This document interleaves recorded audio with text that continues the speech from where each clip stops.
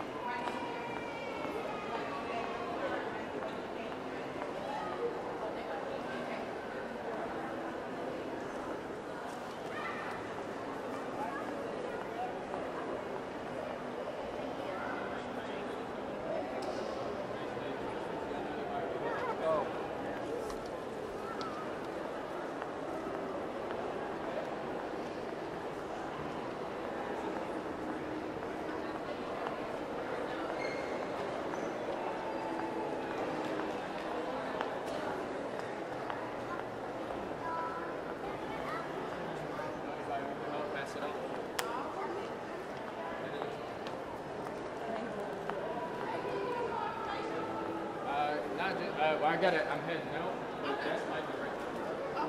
If you use an extra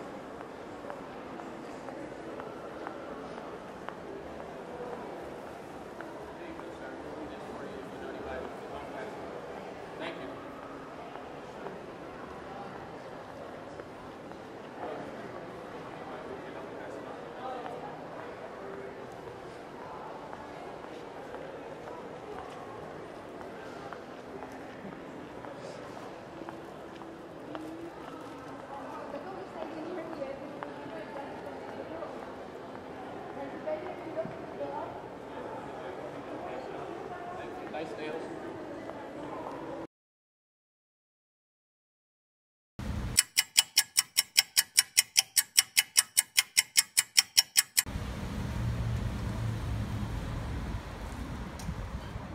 Uh, hold on, let me get this